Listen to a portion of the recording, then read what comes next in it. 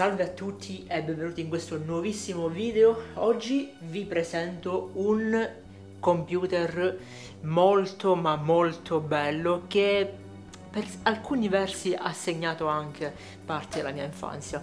Questo di qua è un Olivetti M4 434S, un PC DOS con un processore 486 SX2, un processore che non è uno dei migliori, questo lo ammetto, però comunque è anche uno dei processori che ha fatto la storia negli anni 90.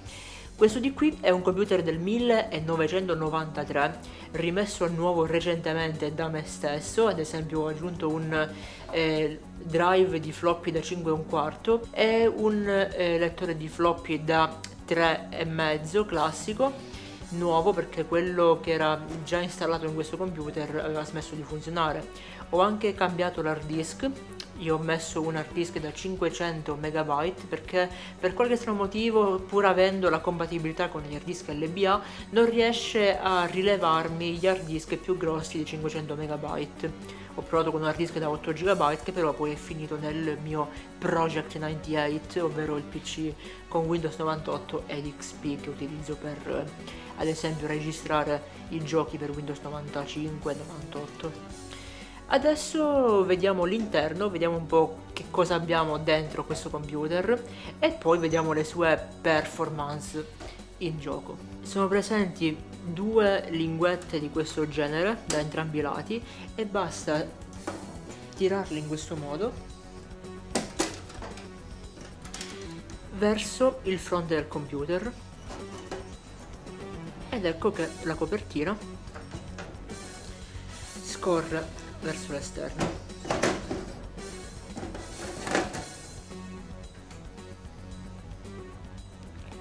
E questo, molto compatto, è l'interno dell'Olivetti M4 434S. Possiamo vedere intanto una scheda madre AT molto piccola che riesce a riempire gran parte dello spazio del case. L'altra metà invece è occupata dall'alimentatore, anch'esso ovviamente AT e non ATX, il lettore floppy da 5,1 il lettore floppy da 3,5 e sotto, in questo slot di qua sotto, abbiamo anche l'hard disk. Si può vedere qui il socket 3, e infatti il socket 3, quello che utilizza il 486 SX2 come processore. Come scheda audio ho montato una Creative Sound Blaster CT2950 che ha un problema al chip di, di boost in pratica dell'audio perché ogni tanto sembra quasi che il volume dell'audio sembra molto più alto di quanto dovrebbe essere infatti il mixer per questa ragione non funziona bene però comunque questa è l'unica scheda audio decente che avevo perché la CT3670 AUE32 in pratica l'ho utilizzata per l'altro PC DOS più potente di cui farò un video molto presto Ovviamente questa è una scheda audio ISA, tutti questi slot di qua sono tutti slot ISA, difficile da vedersi al buio ma comunque. Abbiamo tre slot ISA eh, in questo rialzo verticale e poi dietro abbiamo un altro slot ISA con l'apposita uscita qua IO dell'interfaccia IO delle schede. Abbiamo poi come RAM 40 MB di RAM DIM, penso che questa di qua si chiami RAM DIM, sono due stick da 20 MB, quindi un totale di, 20, di 40 MB di RAM. Poi abbiamo qui un, uno slot per collegare dei floppy un, uno slot più lungo che penso serva per altre interfacce. Su questo lato vediamo oltre allo slot ISA disponibile anche il, il connettore AT dell'alimentatore. Notate com'è differente rispetto a quelli moderni. Quelli moderni sono a 24 pin se non erro mentre questi di qua sono 13 pin e sono molto più più deboli. Inoltre il comando shutdown di MS-DOS 7.03 non funziona, quindi bisogna spegnerlo direttamente col pulsante in modo barbarico.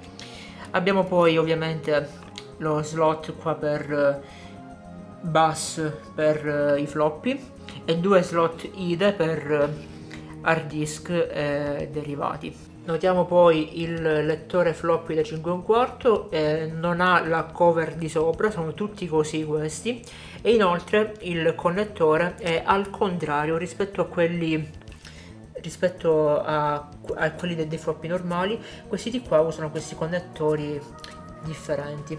E questo eh, è tutto per quanto riguarda ciò che si vede subito appena aperto il computer. Ma le sorprese non finiscono qui con l'aiuto di un cacciavite a taglio si tira questo, questa leva e adesso si è sbloccata la seconda parte del, del case. Quindi alzando questo si rivela l'hard disk che come ho detto prima è un hard disk da 500 MB in realtà ne indica soltanto sui 410 420 così nel sistema però è un hard disk da 500 MB come eh, capacità scritta su carta. E poi per richiuderlo basta fare così e bloccarlo di nuovo. Magari non con una mano sola però comunque il meccanismo è semplicissimo.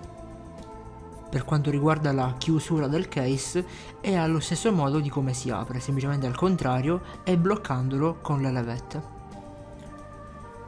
Per quanto riguarda gli ingressi e le uscite sul retro del computer è molto semplice, abbiamo due eh, connettori per l'alimentazione, uno maschio e uno femmina, che si utilizza per gruppi di continuità, poi abbiamo due porte PS, PS2, nessun eh, ingresso per tastiere AT. Abbiamo poi una porta parallela, due porte seriali e un'uscita VGA a 14 pin. E questo di qua mi ha causato tantissimi problemi per poterlo collegare, perché tutti i cavi VGA che posseggo hanno 15 pin e quel nono pin in meno che non posso fare entrare qua perché c'è un in pratica è chiuso, anziché esserci il buchetto è chiuso, mi ha costretto a dover cercare un adattatore da 14 pin a 15 pin, 15 buchi da questo lato e 14 pin da questo lato per poter entrare nel, nello slot VGA di questo computer. Per quanto riguarda la scheda audio è molto semplice, abbiamo la porta giochi o MIDI, poi abbiamo lo speaker out che sarebbe l'uscita jack principale per le casse, la line out che sarebbe la linea in uscita, solitamente si collega a questa ad esempio un altro computer come faccio io per registrare l'audio, poi abbiamo il microfono ovviamente e la linea in ingresso che serve appunto per registrare cose invece da un altro computer o un altro dispositivo MP3. Inoltre il BIOS di questo PC non rileva i lettori CD, infatti inizialmente al posto del lettore floppy da 5 1 quarto avevo montato un lettore CD, ma il BIOS si rifiutava di leggerlo. Di conseguenza, per utilizzare il CD in questo computer c'è soltanto un modo, ovvero utilizzando uno di questi lettori CD esterni via porta parallela. Un problema unico di questi però è che non è possibile fare il boot dai CD perché la porta parallela funziona all'interno del sistema DOS. In pratica c'è un driver che utilizzo che si chiama ASPI-CD che consente al sistema DOS di rilevare il lettore CD esterno dalla porta parallela.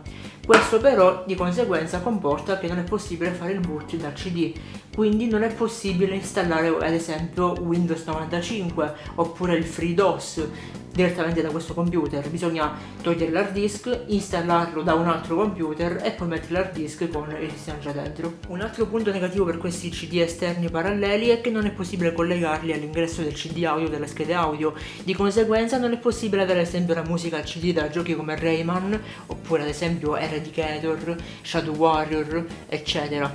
Di conseguenza questo computer non avrà mai giochi con la musica CD anche se ci sono due, queste due uscite RCA non è possibile collegarlo ovviamente al, all'ingresso CD audio della scheda audio per ovvi motivi. Oh beh, qui non ho molto spazio quindi penso che lo andrò a sistemare al di sopra del Project 98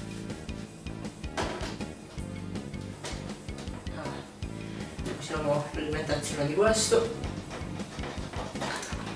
Ok perfetto. Eh, colleghiamo tastiera e mouse. Facendo attenzione a non sbagliare gli slot. Perfetto. Il mega adattatore VGA da 14 pin a 15 pin. Perché purtroppo non si può fare altrimenti. Lo colleghiamo alla scheda di cattura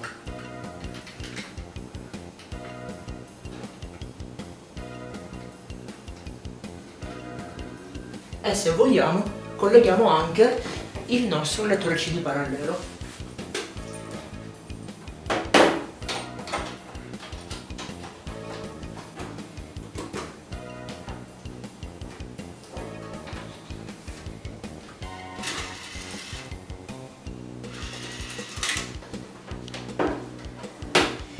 e siamo pronti per testare questo bellissimo 486 Ok, ed eccoci qui, come si può vedere, questo è il boot, molto veloce, abbiamo 40 MB di RAM.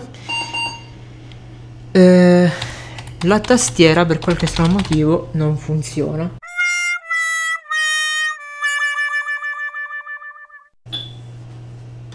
Ah, perfetto. Ok, si sta riavviando da solo.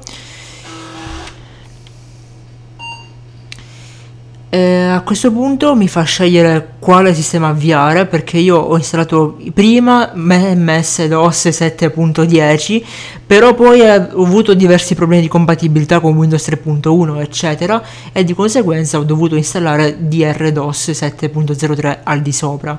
Adesso quindi ogni volta che accendo il PC ho questa selezione di, di sistema io ovviamente premo F2 per avviare DRDOS o Dr. DOS come lo si vuol chiamare e poi il boot continua tranquillamente rileva la scheda audio Creative Sound Blaster 16 plug and play diverse altre cose tra cui anche il driver del mouse che si chiama Qt Mouse versione 1.9.1 e quando mi chiede di inserire la password premo semplicemente invio perché non ne ho scritta alcuna ed eccoci qui, siamo pronti adesso per utilizzare il nostro PC.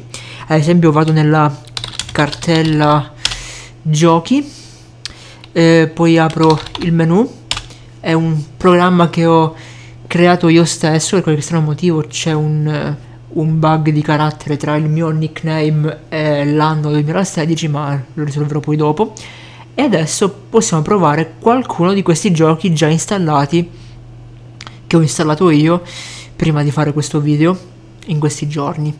Ad esempio andando nella directory di Apogee abbiamo alcuni giochi come Monster Bash, proviamo ad esempio questo, ehm, abbiamo il primo episodio. Oh, dimenticavo questo problema. Con DRDOS alcuni programmi batch scritti in MS DOS 7.10 si diciamo alterano e di conseguenza alcuni comandi, alcune variabili smettono di funzionare. Ma nessun problema ci vado manualmente io. E risolviamo tutto. Eccoci qua. La scheda audio funziona si sente la musica in Monster Bash però c'è un piccolo problema con gli effetti sonori infatti la musica funziona però non funzionano eh, gli effetti sonori. In pratica mi dà questo errore quando provo ad abilitarli, non so per quale motivo. Se qualcuno ha qualche idea, scrivetemelo nei commenti e darò un'occhiata. Comunque sia, attivo il PC speaker per quanto esso possa fare schifo, è comunque qualcosa.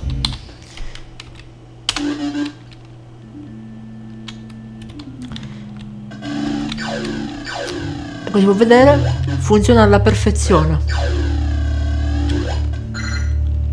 Nessuno scatto. Nessun rallentamento. La scheda di cattura un pochettino droppa qualche frame ma in realtà il computer va alla perfezione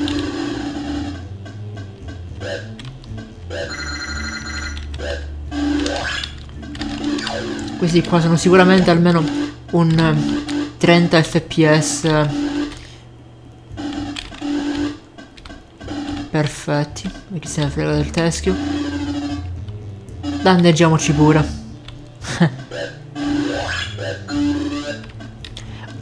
Questo problema della scheda audio comunque è sorto con Dr. DOS perché finché avevo MS-DOS 7.10 in Monster Bash funzionava sia la musica, come infatti essa continua a funzionare, che anche gli effetti sonori. Evidentemente c'è qualche problema di risorse. Ok, come prossimo gioco proverò invece eh, un altro gioco dell'Apogee, ovvero il classico Duke Nukem 2. Questo di qua invece funziona perfettamente, effetti sonori e musica.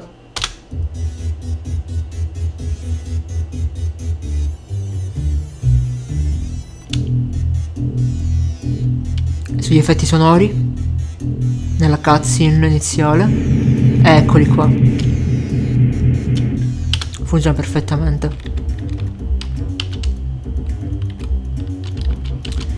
Anche questo è un gioco che funziona alla perfezione senza nessun tipo di rallentamento. Anche il caricamento è velocissimo. Eh, non droppa nessun frame. Magari la scheda di cattura droppa qualche frame ma in realtà vi garantisco che nella realtà il gioco va a 30 fps perfettamente fluidi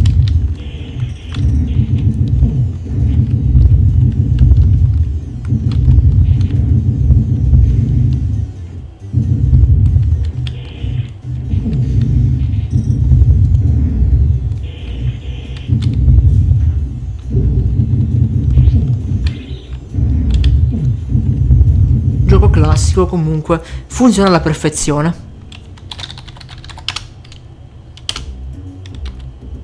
E anche la musica funziona alla grande ed è epica.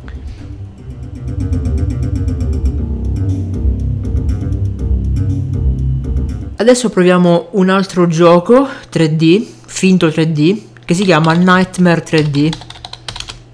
Non è molto conosciuto, però comunque è un, gio un gioco che appesantisce parecchio il 486. Vediamo un po' come funziona su questo 486 SX2.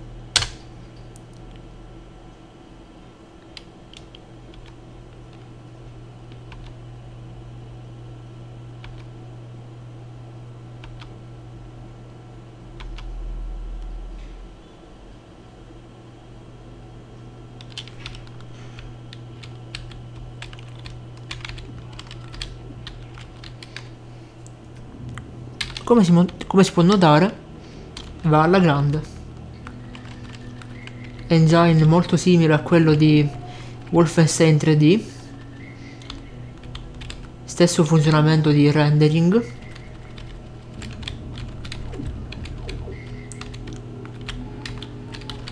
Chiamato rendering a scansione.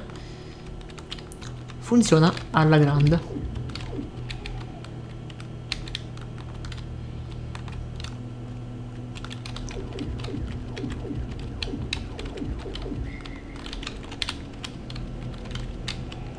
Tra l'altro questo gioco di qua, Nightmare 3D, prima che installassi Dr. DOS, laggava un pochettino quando raccoglievo oggetti. Adesso invece con Dr. DOS, o DR DOS come lo si vuol chiamare, ha smesso anche di fare questo piccolo lag, quindi... Beh, molto meglio. Ok, un altro gioco che ovviamente non possiamo assolutamente tralasciare è Doom, quindi vediamo un po' come si vede Doom. Leggermente più pesante di Nightmare 3D è comunque giocabile, questo ve lo garantisco. Non è il massimo, però è comunque giocabile. Scheda audio, Sound Blaster, musica funzionante perfez- perfettamente, effetti sonori funzionanti perfettamente. Come si può vedere, è giocabile non ha cali di fps drammatici. Certo non è molto stabile a livello di fps ogni tanto fa qualche piccolo scatto. Però tutto sommato è abbastanza giocabile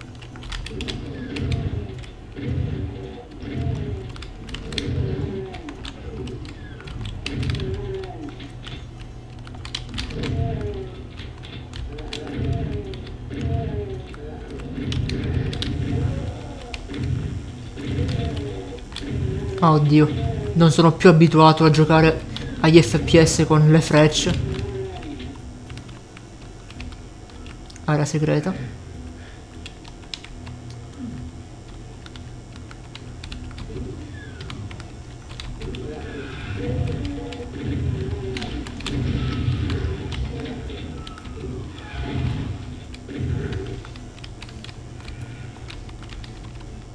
È uno M1 però con il Sound Blaster senza AW32 è un pochettino scarno, sentite un po'.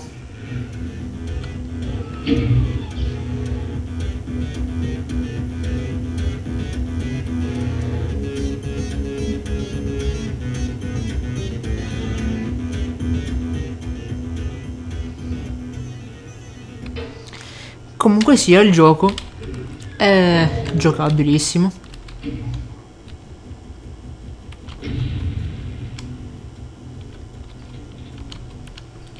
Ho provato anche ad installare ed avviare Quake, ma non sono riuscito a farlo partire perché vuole un processore point float, una cosa del genere. Insomma, un processore più potente, un Pentium come minimo. E di conseguenza non è stato possibile avviarlo su questo computer, quindi non potremmo vedere come si vedrebbe Quake su questo 486 SX2. Anche se su YouTube ho visto alcuni video di gente che è riuscita ad eseguire Quake su dei, su dei 386 e dei 486 DX2, non so per quale motivo su questo 486 Quake non parta, forse qualche problema di compatibilità con questo modello specifico SX2 rispetto al DX2, non lo so. Comunque Duke Nukem 3D riesce a partire a differenza di Quake, ma è ingiocabile. Ho fatto un video su YouTube, l'ho caricato come non elencato, e adesso qua vi faccio vedere qualche pezzo di questo video in cui ho fatto un piccolo gameplay, cioè ho registrato un piccolo gameplay di Duke Nukem 3D su questo processore, su questo computer, ma come si può notare il gioco lagga in una, una maniera terribile ed è completamente ingiocabile, quindi Duke Nukem 3D non è un gioco per niente giocabile su questo computer. Adesso vediamo qualche altro giochino un, un pochettino leggero, come esempio Kin. Kin 6 è il mio preferito. Eh, questi giochi così, questi giochi 2D comunque vanno alla perfezione, sia per quanto riguarda la musica, gli effetti sonori, sia anche per quanto riguarda il gioco in sé. Non hanno problemi grafici. Eh, sono morto subito. Comunque sia, funzionano alla perfezione. Tutti questi giochi 2D, sia Commander Kin che Bioman Ace, Cosmo, Cosmic Adventure, Crystal Cave, Secret Agent, eccetera eccetera. Questi giochi di qua vanno tutti alla perfezione su questo computer. Inoltre non mi danno neanche il problema del glitch grafico che DOSBox mi crea con Commander Keen 6, ovvero del gioco che si teletrasporta mentre si muove la visuale. Questo problema non si presenta su questo computer, non so da cosa derivi quel problema, penso che sia un problema derivato dai processori più potenti. Un altro gioco importantissimo che riesco ad eseguire alla perfezione soltanto su questo computer e anche sul 386 è Jazz Jackrabbit. Anche questo va alla grande, sia per quanto riguarda la musica, si sente meravigliosamente bene, e anche per quanto riguarda il gioco in sé. Questa è la versione CD-ROM, ovvero tutti gli episodi, tranne Holiday Air, non ho la patch 1.3 purtroppo. Mettiamo un episodio a caso, tanto ormai li conosco tutti. E vanno alla grande.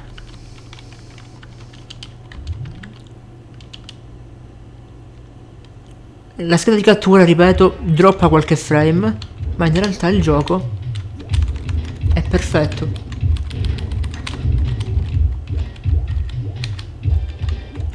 Velocissimo, come giusto che sia, e senza nessun scatto.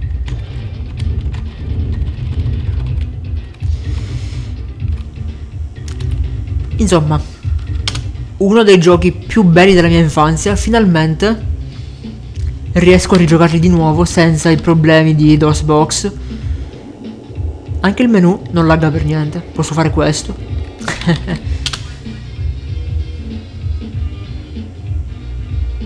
Ascolterei la musica di Jack Rabbit per tutto il giorno io.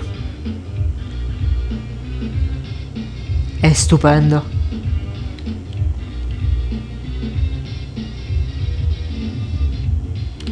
Eh già, è meravigliosa, è bellissima, è molto nostalgica. Oddio, Jet Jack Rabbit. Che fine ha fatto? La Epic ti ha abbandonato, Jets. Vediamo adesso un altro classico 2D, Lemmings, per testare il mouse. VGA Lemmy. Ok. Avviamolo per PC ad alta performance, perché, perché no? Tanto è un 486 questo, cosa può andare storto? Anche il mouse, con il driver Qt Mouse, funziona perfettamente.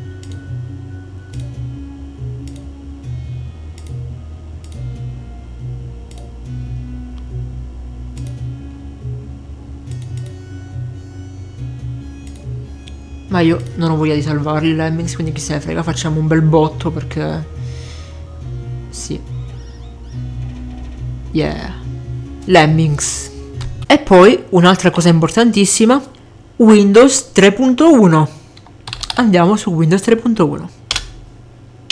È un launcher che ho fatto io perché per quale motivo il comando di Windows 3.1 che risiede nella cartella di Windows non funziona se lo richiamo da altre cartelle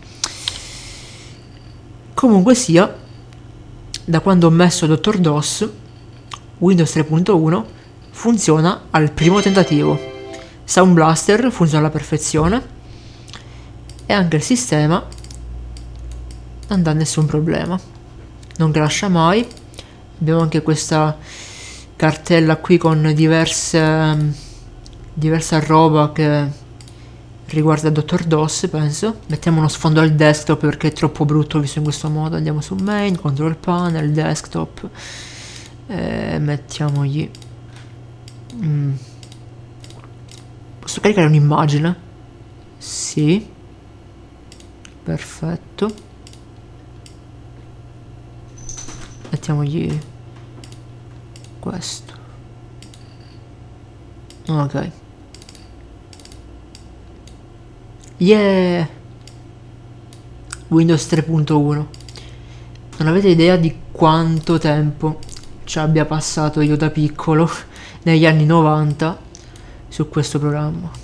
Programma perché considerarlo un sistema operativo effettivo è troppo, direi che è più un, un sottosistema di DOS, diciamo, con la calcolatrice. 666 per 6 diviso 2 98 l'anno in cui ho iniziato ad utilizzare qualunque pc già. Ok. Adesso chiudiamo windows. E anche se lo chiudo e lo volessi avviare di nuovo, non ho più il problema che avevo con MS-DOS 7.10, ovvero che avviandolo una volta dovevo riavviare il PC per farlo funzionare di nuovo. Adesso basta che esco di nuovo Win e il sistema funziona di nuovo.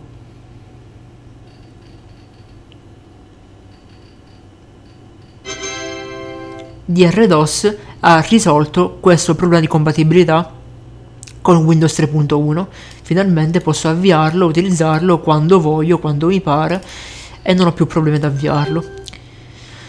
Eh già, è meraviglioso. Caldera DRDOS 7.03, copyright 7698. Adesso come ultimo test cosa potrei fare? Come ultimo test... Mm, come ultimo test penso che faccio un video veloce su Blackstone. Un altro gioco dell'Apogee, anche questo un FPS sempre del livello però di Wolfenstein 3D non è pesante quanto Doom eh, o quanto Duke Nukem 3D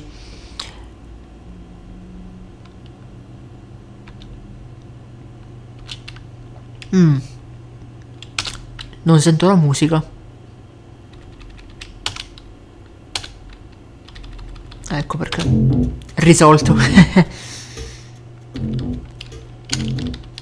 Abilitiamo tutto.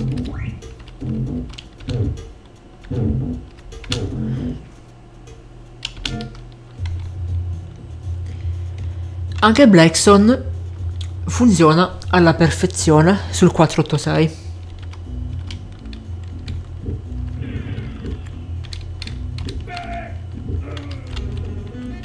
Tranne qualche piccolo drop di FPS quando raccogli un'arma o un oggetto da terra.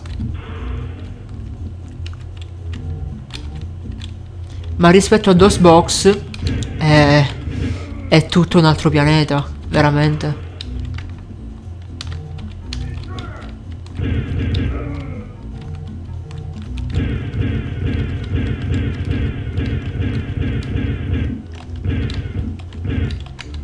E muori grassona.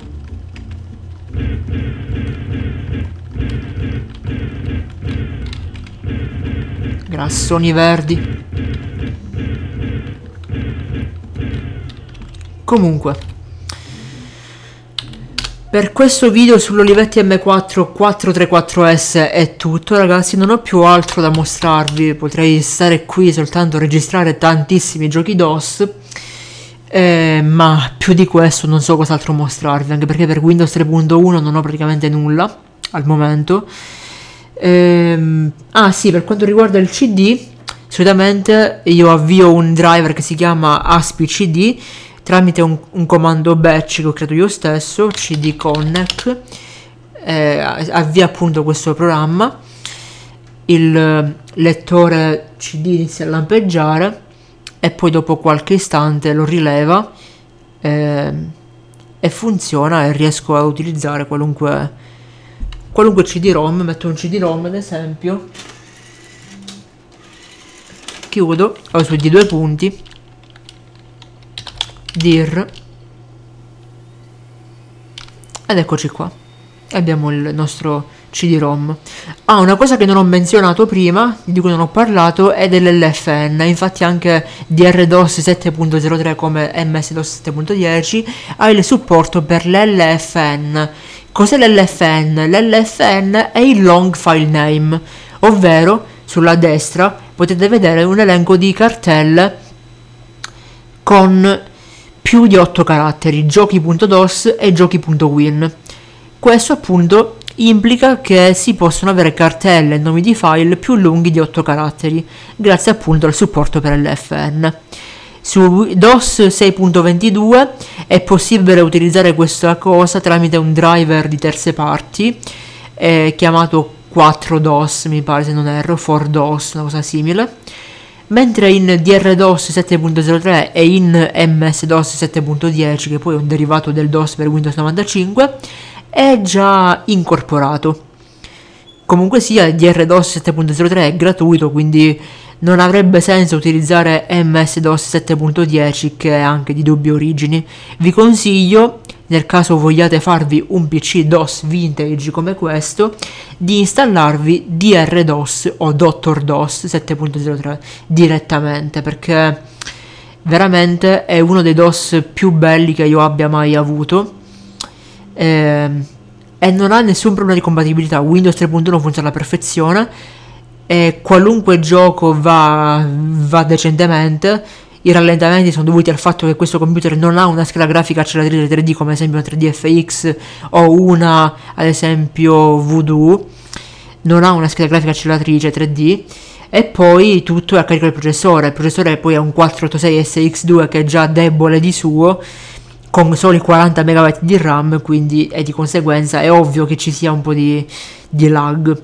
Ma comunque questo non mi, non mi interessa perché molti giochi leggeri vanno alla grande e per giochi più pesanti ho già quasi ultimato i lavori per il PC DOS Ultimate, l'Ultimate Machine PC DOS, non so neanche come chiamarlo ancora questo, questo PC DOS, però mi inventerò poi un nome strafigo perché è il PC DOS più potente che abbia mai creato. E va bene, per quanto riguarda questo video sull'Olivetti M4 434S S, non SES, S, è tutto.